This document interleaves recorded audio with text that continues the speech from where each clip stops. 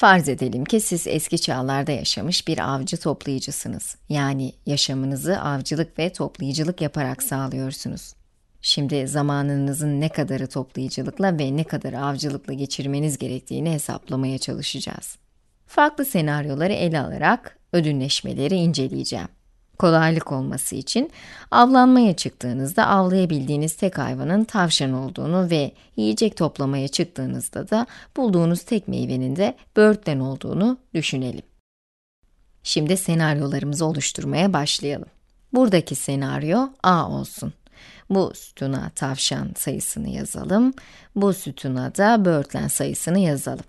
Diyelim ki uyumak gibi zorunlu şeylerin dışında kalan tüm serbest zamanınızı avcılığa ayırdığınızda bir günde ortalama 5 tavşan yakalayabiliyorsunuz. Ancak bütün zamanınızı tavşan yakalamaya ayırdığınızda hiç böğürtlen toplayamıyorsunuz. Yani bu sütunda böğürtlen sayısı 0 olacak. Şimdi diyelim ki biraz böğürtlen toplayabilmek için avcılığa ayırdığınız süreyi azalttınız. Bu senaryoyu da B olarak adlandıralım. B senaryosunda avcılığa 4 tane tavşan yakalayabilecek kadar zaman ayırdığınızda 100 tane de böğürtlen toplayabildiğinizi göreceksiniz. Bu senaryoları oluştururken diğer koşulların aynı kaldığını yani uykuya ayırdığınız sürenin veya bir tavşan yakalamak için harcamanız gereken sürenin gibi gibi bunların hepsinin aynı kaldığını düşünelim. Diğer koşulların hiç değişmeden kalmasına ne diyorduk hatırlayalım. Ceteris paribus diyorduk. Bu latince bir terim.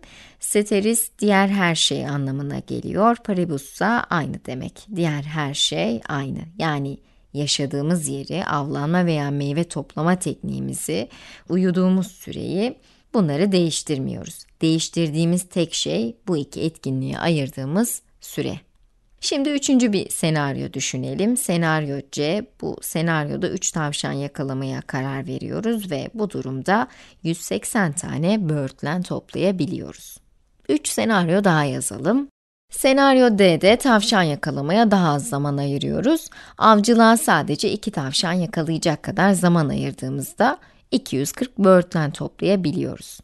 Senaryo E'de avcılığa ayırdığımız zamanı daha da azalttık.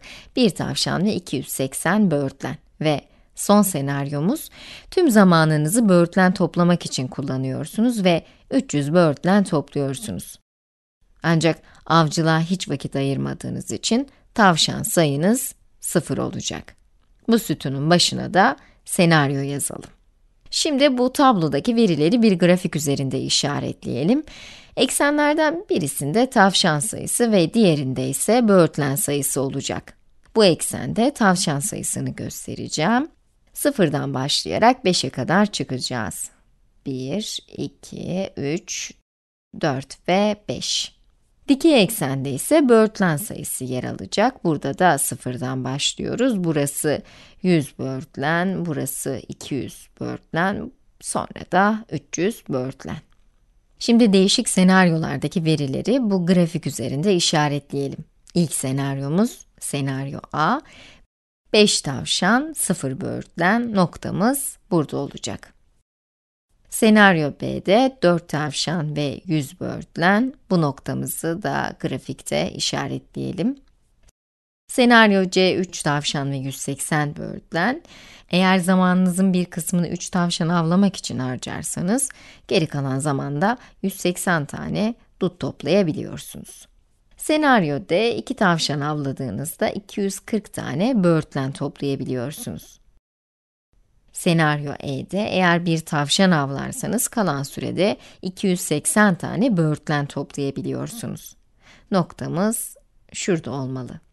Ve son senaryomuz, senaryo F'de tüm zamanınızı böğürtlen toplamaya ayırdığınız için hiç tavşan avlayamıyorsunuz. Bu noktaların tümü bir arada neyi ifade eder ona bakalım.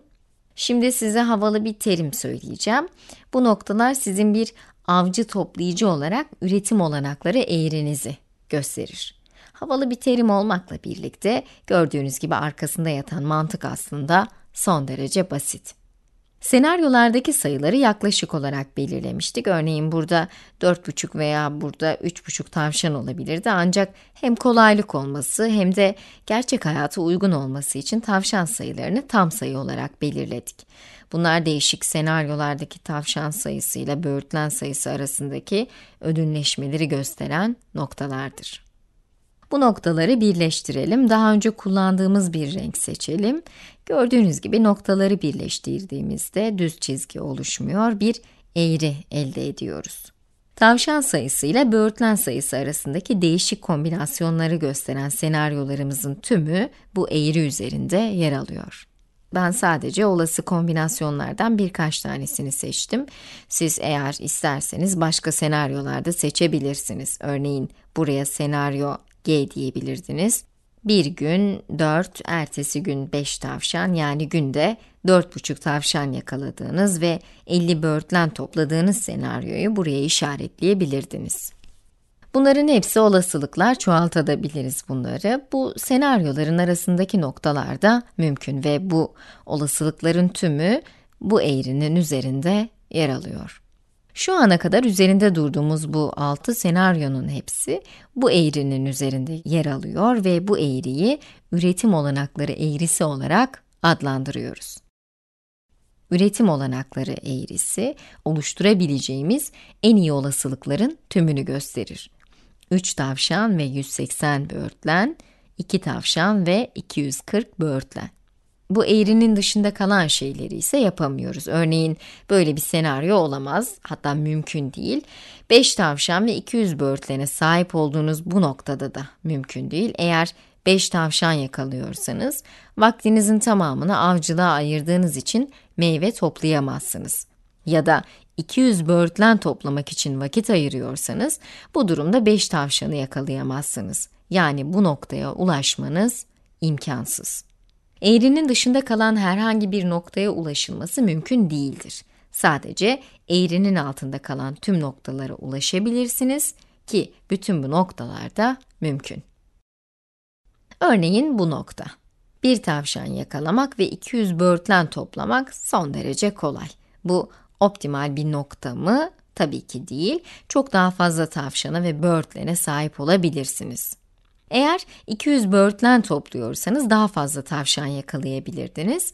Bu noktaların tümüne ulaşabilirsiniz ancak bunlar verimliliğinizin en üst düzeyde olduğu noktalar değil. Buradaki noktalar efektif değiller.